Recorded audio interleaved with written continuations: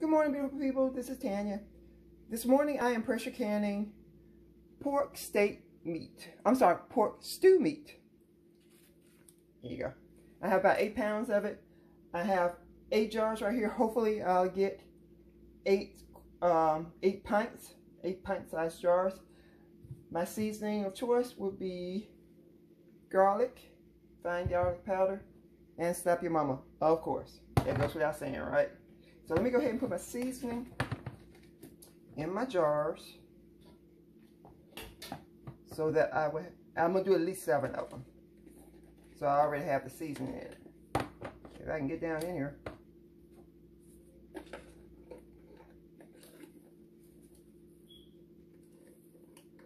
And I'm doing half a teaspoon in each jar, just so you know. Half a teaspoon of Slap Your Mama and half a teaspoon of garlic powder as well. Because the flavor intensifies when you can canning. And Slap Your Mama already has kind of a kick to it. So, we don't want to be so spicy no one can eat it. I'll go ahead and do six, and then we'll uh, we'll do, take it from there. I should get at least six. But again, I'm hoping for eight.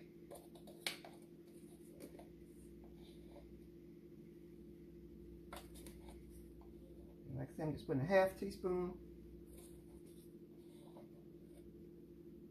of Slap Your Mama and half teaspoon of garlic powder.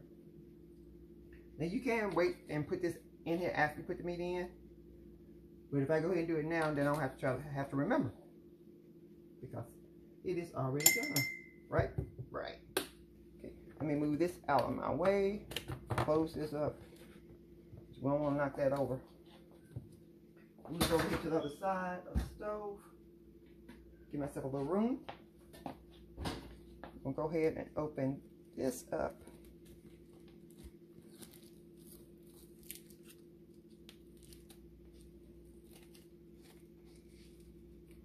And I got the um, my funnel just in case I need it, but I'm using wide mouth jars, so I really don't think I'm gonna need that funnel.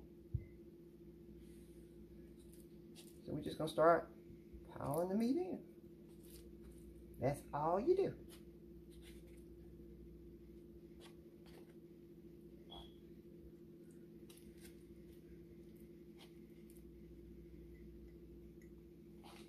And you want to leave at least an inch head space. You don't, and by the way, you don't um, pack it in tightly. It's packed in loose because you do want air to be able to, um, and water and stuff to be able to circulate and get in. You know what I'm saying? This is some debris coming in, coming off the packages. Get that out of the way. the black packaging that it's in.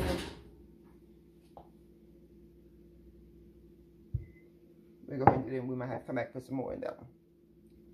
But I'm just going to keep doing this until I get as many as I can get done. Oops. No problem dropping it. And then we'll start pressure can. And like I know some people say, well, you don't wash, you didn't wash your meat. Most time I don't wash meat. Um, but here's the thing about uh, when you're pressure canning, it's under a lot of high pressure. And anything that's in here that might be dangerous, chances are it's going to be killed. And it's not going to be allowed to grow because most organisms need oxygen to grow and you're depriving it of oxygen. See what I mean?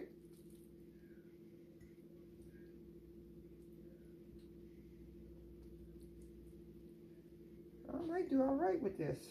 We'll see. And because, like I said, because I'm using meat, the, bu the bubble is not going to work.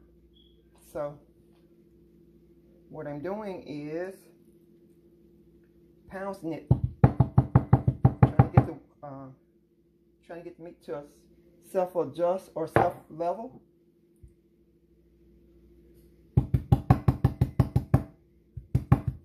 And you don't do it so hard where you break your glass, okay? And remember, you still got to leave that inch head So,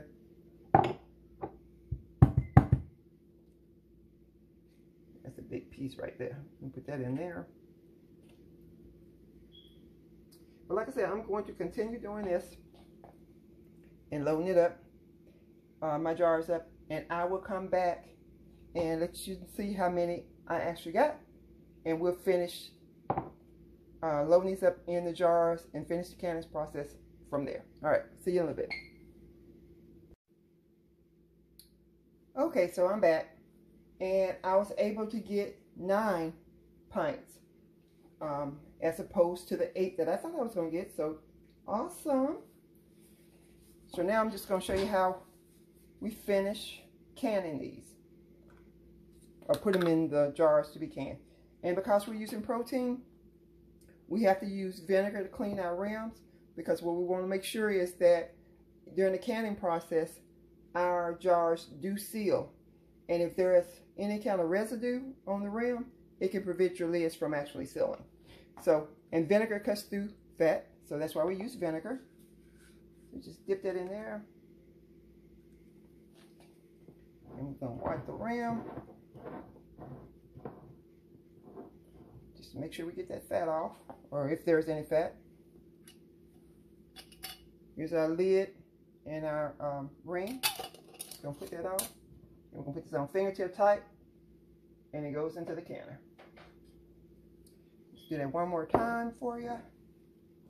Wipe this rim off. Make sure you get it real good. Put our lid on. And then our ring. Fingertip, fingertip tight. And into the canner. Okay, so like I said, since I have nine of these, what I'll be doing is I'll put five on the um, bottom and four on the top because in my canner, which is the Presto, I can actually do uh, a top and a bottom layer of the pint size. So I will go ahead and put this in the canner, get it started. Let me turn the heat on so we, it can start warming up for us. Because remember, meat is cold, jar is cold, room temperature there is. Jars are room temperature, meat is room temperature, can is room temperature, water is room temperature. Everything's room temperature, so it's starting out on the same level. So again, I'm gonna go ahead, start my heat uh, start my heat coming up. By the time I finish this, um, we're going to let this process. And for pint size meat, you do 75 minutes. If I were doing quarts, they would be 90 minutes. Okay? So I will be back at the end of my processing time and let you see how beautiful my meat is. Oh, and before I forget, some people might be like, well, why aren't you putting any any liquid in that? You can if you want to. Um, some people use water. Then there are some people that will use um, bouillon cubes or broth or stock or um, belly and bouillon, you know, something to, to give it some flavor. But I already have the seasoning in here, and you'll see this will actually make its own um, its own juices or fluid because most animals are at least 90% water. it doesn't matter who you are, you're probably 90% water. And, uh, and as you know, most plants require water as well. So there's that too. But anyway, I'll bring you back once I finish processing. Because it's probably going to be about a couple of hours. Yeah, at least a couple of hours. But I will see you in a couple of hours for me, momentaneously for you. All right, see you soon. Hi everybody, this is Tanya. I'm back and we're finishing up on our um, canned stewed pork meat. Okay, so this process for 75 minutes. I let it come, uh, the pressure come all the way down after that process. So I gave it 45 minutes. At the end of 45 minutes, it was down. It was already down to uh, to zero. Cracked open the top a little bit, let it vent. And it's been sitting here for about 10 minutes. So now, I'm going to take the lid off. And remember, this is still hot.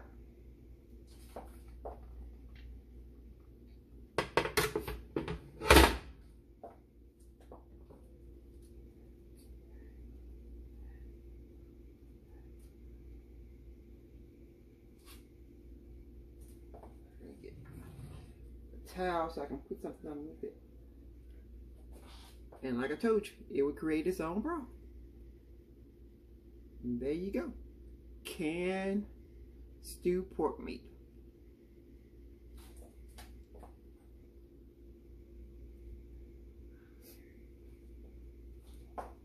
So let me turn you around so I can go ahead and get the rest of them out.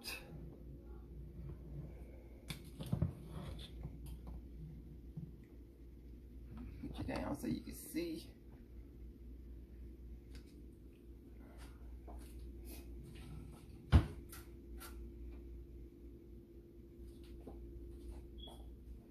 And it's still hot.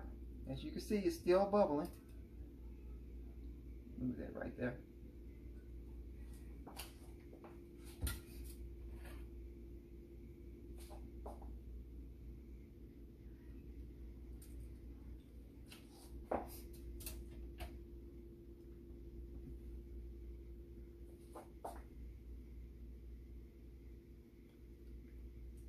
And like I said, I ended up with nine jars.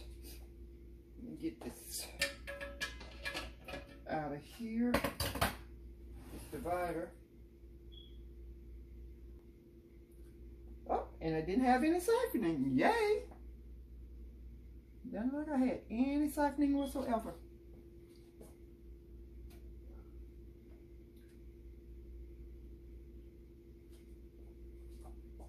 That's a rule. We usually get a, at least a little siphoning. You know? It's pretty much to be expected. It's par for course.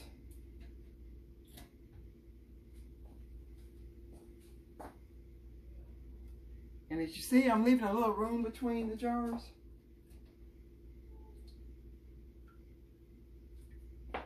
And it's allowed them to cool down.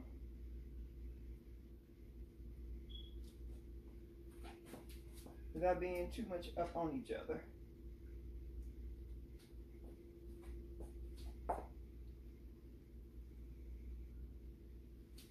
Okay. Like I said, I don't see any siphoning in here. Let me let you see. And like I said, you don't see any siphoning. My water's still clear. So if it did siphon, it was just a little bit. And again, I ended up with nine beautiful jars of stewed pork meat. And since I didn't put anything in them but um, Slap Your Mama and garlic, you can use this meat for whatever you want to use it for. Uh, if you just want to eat it like this, you can. If you want to put it, you know, tear it up, put it on a salad, shred it up, put um, put some barbecue sauce on it. You can do that. I mean, it's up to you. It's up to you basically what you do with it. But anyway, I just wanted to share this with you. It's a rainy day, so I figured I'd get some canning done and just bring you along. So thanks for watching. Don't forget to comment, like, and subscribe. Y'all have a, a great day. And don't forget to leave a legacy. Bye.